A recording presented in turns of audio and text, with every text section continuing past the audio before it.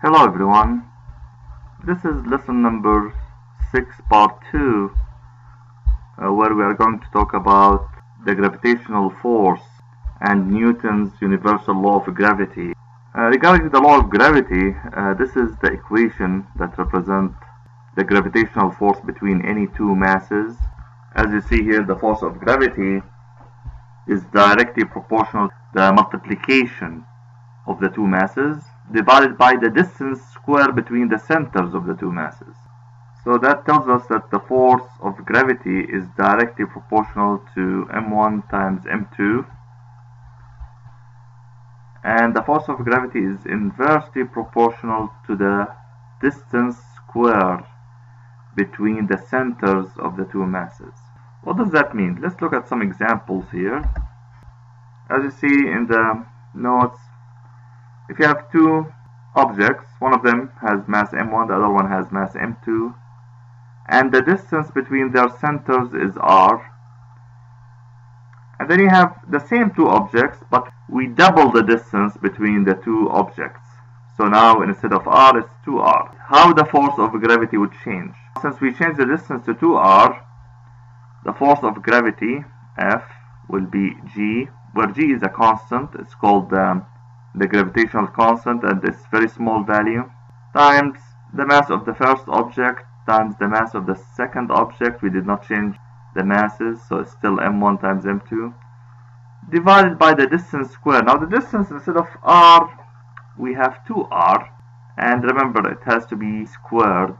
So now if we apply the equation, it would be g times m1 times m2 divided by, as you see nothing changed in the numerator, but in the denominator we have to square everything inside the parentheses so 2 will be squared and r will be squared so this will yield r squared. So you can see here the force has decreased by how much? If you compare the second force here, F2, which is the force of attraction between those two masses, compare it to F1 when the distance was r, this is F1, and um, the force of gravity is action and reactions. It's a mutual force between the two masses. So what happened here, the force decreased from g m1 times m2 over r squared, this was the first force, to g times m1 times m2 over 4r squared.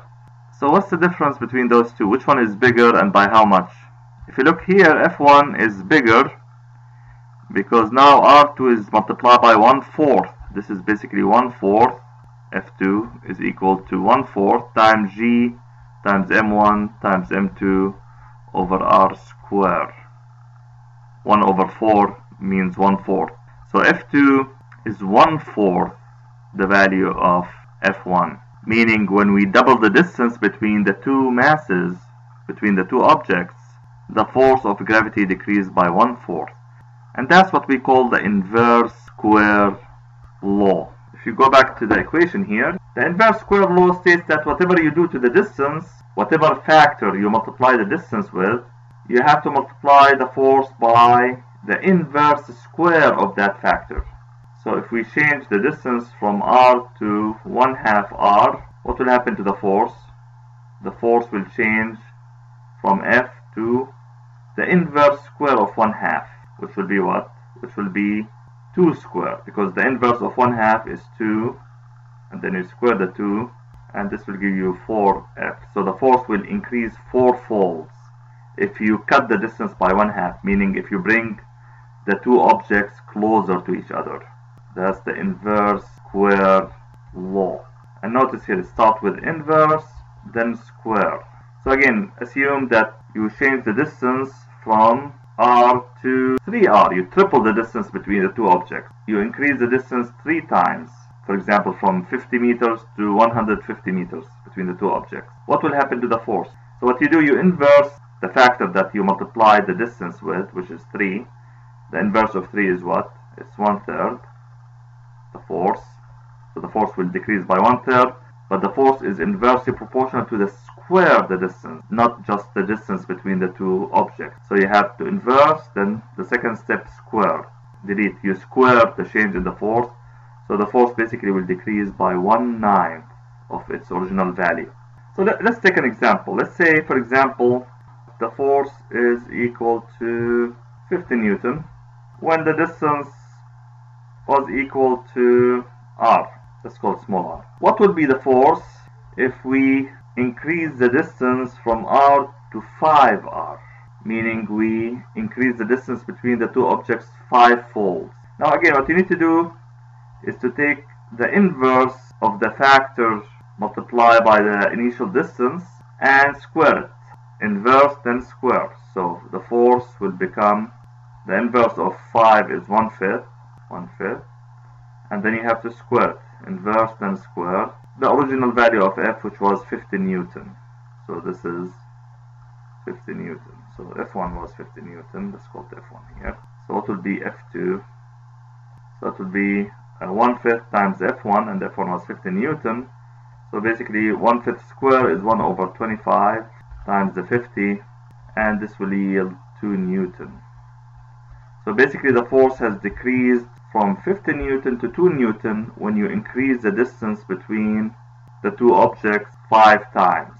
Now what happens if you decrease the distance by 1 fifth? What will be F2 if the distance R is now 1 fifth R? So again what will happen to the force here?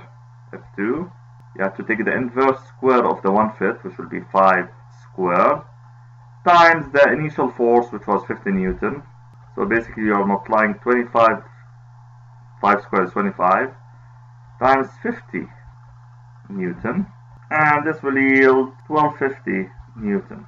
So the force basically will increase from 50 Newton to 1250 Newton. Now how about if we increase the mass? Like in this example we kept the distance the same, but we basically increase the mass from m to 3m. What will happen here, the force will increase 9 times because now you have g times 3m1 times 3m2 which will give you 9 m1 times m2 divided by r squared so the force will increase 9 times. Notice that this law is the general law of gravity. I hope you found this lesson educational. Let me know if you have any questions. Thank you.